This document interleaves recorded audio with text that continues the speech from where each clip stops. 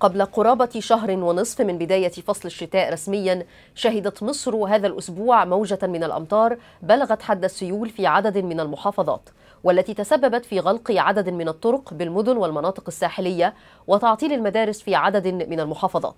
وحول استعدادات أجهزة الحكم المحلي لمثل هذه الظروف يدور الحوار في هذه الفقرة مع ضيفي الأستاذ صبري الجندي مستشار وزير التنمية المحلية السابق.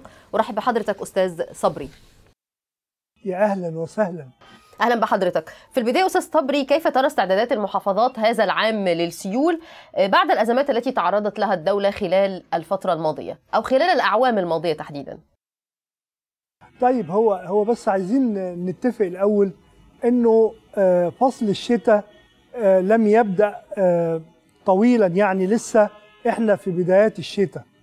والأمطار التي سقطت خلال الأسبوع الماضي وهذا الأسبوع هي البدايات. إحنا عندنا محافظات تشتهر بأنها بتستقبل كميات ضخمة جدا من مياه الأمطار زي شمال وجنوب سيناء زي الوادي الجديد زي مرسى مطروح وسيوة وكل المدن التابعة لها زي السلوم. السلوم ومرسى مطروح وسيوة بيعتبروا إنه المطر شيء رائع جدا ومبشر جدا وبيبقوا سعداء جدا بهذا المطر اللي بيرووا بيه أراضيهم خاصة في زراعة الشعير اللي هو القمح يعني.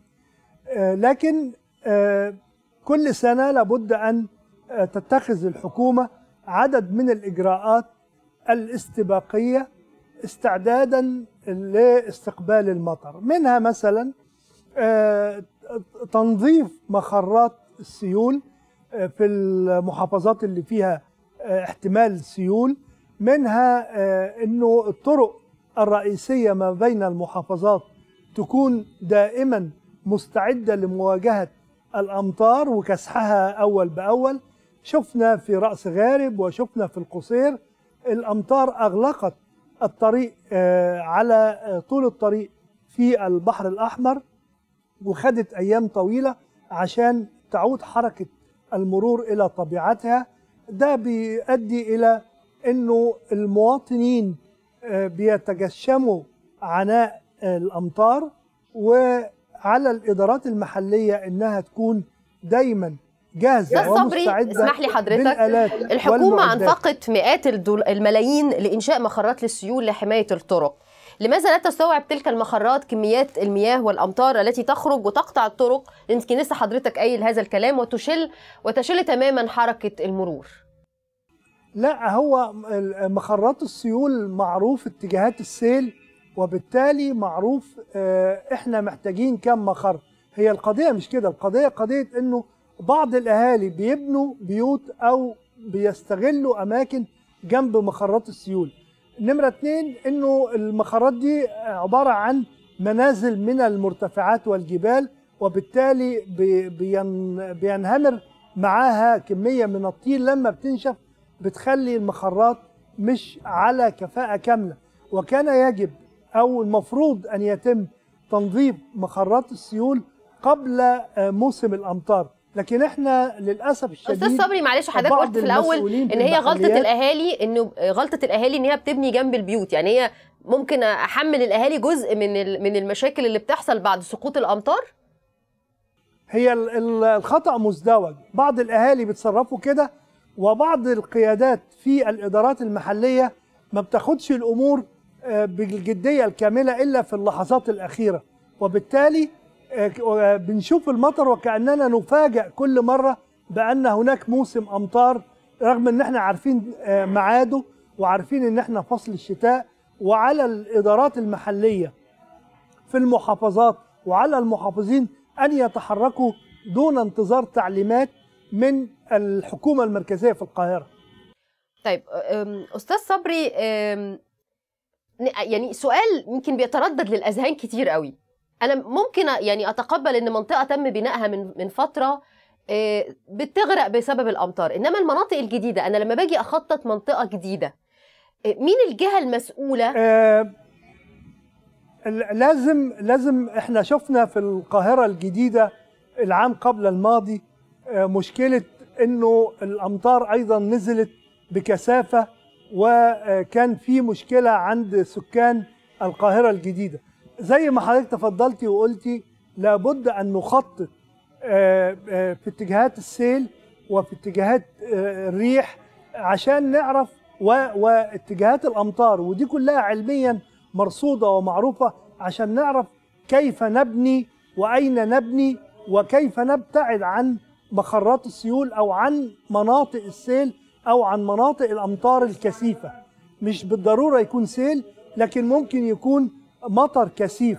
فهذا المطر الكثيف يؤدي إلى آه، تعويق حركة المرور وحركة السكان وبالتالي علينا أن نأخذ آه، حذرنا ونحن بنخطط للمدن الجديدة وبنخطط لشوارعنا وبنخطط للقرى حتى لأن يا القرى صبري تعاني. هو تخطيط الطرق تخطيط الطرق ذاتها يا أستاذ صبري هل بيحتاج وضع في آه، إن أنا أضع في الاعتبار فصل الشتاء آه، ال- الأمطار اللي هتنزل كمية الأمطار.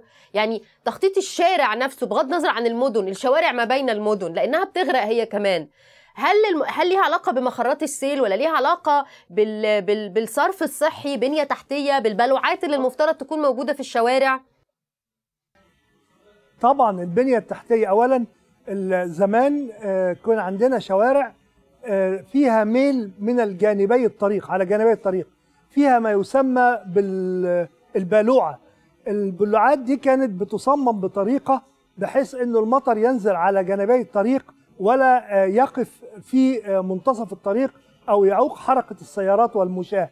الآن نحن العلم رغم تقدم العلم نحن محتاجين إلى مزيد من الإتقان في تصميم الطرق ومزيد من الإتقان في تنفيذ الطرق. إحنا لدينا بنى تحتية آه، رائعة جدا وحديثة جدا لكن علينا أن نضبط آه، في تصميماتنا الأمطار التي تهبط وتوقعاتها وكمياتها ومواسير الصرف اللي تحت الأرض بحيث إنها تستوعب أي كميات للأمطار بحيث لأنه إذا لم تستوعب سوف تطفح المياه في الشوارع وبالتالي هنعاني كلنا من آه، تكدس الشوارع بالمياه وتوقف حركة الحياة ما بين آه، مدينة وأخرى وقرية وأخرى إحنا كمان محتاجين البنى التحتية في القرى أن تكون آه، مواكبة للزيادة السكانية ومواكبة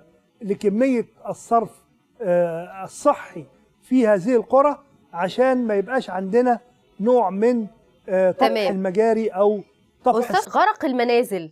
ال- ال- المواطنين اللي بتغرق منازلهم أو بيكونوا ساكنين في أدوار أرضية وبنشوف الفيديوهات اللي بتبقى موجودة منتشرة على ال social media ال ال ال الشقة بالكامل أو الوحدة السكنية بالكامل بتغرق. الأساس بيكون بسيط جدا. هل الدولة بتقوم بتعويض المواطن في هذه الحالات ولا المواط- المواطن بيتكفل بذاته يعني؟ آه، هي الدولة الدولة آه، بتسارع لا قدر الله لما بيحصل ده بتسارع في وقف المياه وكسحها وإعادة الحياة كما كانت عليه قبل سقوط الأمطار. لكن على المواطن أيضا اللي آه، على فكرة في بعض المواطنين بيبنوا بناية مخالفة تؤدي إلى أنه المية تدخل عندهم. يعني يعمل بدروم بينما ال- التصريح في الرخصة لا يحتاج بدروم أو مش حاصل على بدروم لما يغير طبيعة المنشأ ال- السكني اللي هو فيه آه، عليه أن يتحمل تبعات هذه هذا التغير يعني. لكن مش كل حاجة هنرميها على الدولة ومش كل حاجة هنرميها على المواطن. علينا التزام بالقانون في آه، تنفيذ ترخيص المباني اللي أنا حصلت عليه كمواطن وساعتها مش هتدخل عندي مية في البدروم أو مية في الأدوار الأرضية. عموما ده هيكون من السنوات القادمة لأنه القوانين تغيرت في قوانين ال- البناء وطبعا بعد ال- الفترة الف- الكبيرة اللي كان فيها مخالفات البناء ودفع كمان فواتير المخالفات فأعتقد إنه ده آه، هيتوقف تماما. طيب دكتور أستاذ صبري تقييمك لتجربة محافظ الإسكندرية في التعامل مع مياه الأمطار الأخيرة؟ إحنا عندنا في مشكلة في إسكندرية مشكلة أنا بقول إن إسك- إسكندرية مقبرة المحافظين اللي آه للأسف تم تغيير أكتر من محافظ من جراء سقوط الأمطار الشديدة في الإسكندرية. أنا عايز أقول لحضرتك إن إحنا كان ممكن نعمل آه، أماكن لتجمع الأمطار ونستفيد بيها في إسكندرية بالذات. عندنا آه، محتاجين مطر المية دي نستخدمها في الزراعة أو في ري الحدائق العامة بدل ما نصرفها في البحر. لكن آه، أيضا محتاجين كان في مليار جنيه خصصهم الرئيس لإقامة آه، محطة أو محطات آه، للصرف. آه، أعتقد إنه محتاجين آه، مبالغ أكبر محتاجين شغل أكتر على الأرض. محتاجين نستعد زي ما قلت لحضرتك لموسم المطر قبل أن يبدأ الموسم ونتأكد ما نقولش كله تمام. يعني الموظف الذي يمر على بلوعة أو اتنين أو عشرة في شارع ويقول كله تمام لابد أن يراجع هذا التمام لأنه عندما نثق في موظف يكذب أو في موظف متكاسل بتبقى النتيجة ما حدث في الإسكندرية. وعايز أقول لحضرتك إنه ما حدث في الإسكندرية آه، شهد آه، نوع من الجدية في التعامل مع الأزمة لكن بعد حدوث الأزمة تم المحافظ كان واقف لغاية 3 و4 الصبح آه، على ايدين الناس بيشتغل وبيكسحوا المياه. لكن المواطن أدير آه طبعا المواطن أدير. في اسكندرية تعطلت الحياة آه تعطلت ولو ساعات. لكن علينا أن آه، دائما نتعاون من أجل أن تسير الحياة بشكل أفضل لكل المواطنين. أخيرا يا أستاذ صبري في في جملة واحدة اللي بيستلم الطرق. مين الجهة اللي بتستلم الطرق بعد ما بتنتهي وبتشوف مطابقتها للمواصفات؟ وهل هي قادرة إن هي تت يعني وقت السيول أو وقت الأمطار ما يكونش فيه تكدس في المرور مين الجهة اللي بتستلم الطرق دي وتقول تمام الطرق الطرق دي مطابقة؟ آه، المفروض إن أنا وأنا بعمل مشروعات للصرف الصحي تبقى على أسس علمية وأن تكون هناك جهة هندسية محترمة تستلم هذه المشروعات استلاما هندسيا وتبدي ملاحظاتها ولا يتم تشغيلها إلا بعد التأكد تماما من صلاحية المشروعات الجديدة للتشغيل. ما ينفعش آه، إن إحنا نتهم آه، الإدارة المحلية بالفساد ثم نوكل إليها مهمة استلام والموافقة على استلام المشروعات الجديدة. ما ينفعش اللي بيعمل المشكلة هو اللي نخليه يحلها. لازم جهات محايدة. وك- ومن هنا كان اتجاه الحكومة الحالية إلى الجامعات وإلى كليات الهندسة في الجامعات عشان تشرف على منظومة إصدار التراخيص واستلام المشروعات. وأيضا هذا هو الدور اللي بتقوم به الهيئة الهندسية للقوات المسلحة تشرف على المشروعات الجديدة وتقوم باستلامها وفقا للمعايير والمواصفات الهندسية الصحيحة وتسلمها للقطاع المدني. أشكرك شكرا جزيلا أستاذ صبري الجندي مستشار وزير التنمية المحلية السابق. شكرا جزيلا للمشاركة. أنا اللي بشكر حضرتك. كتر خيرك يا فندم.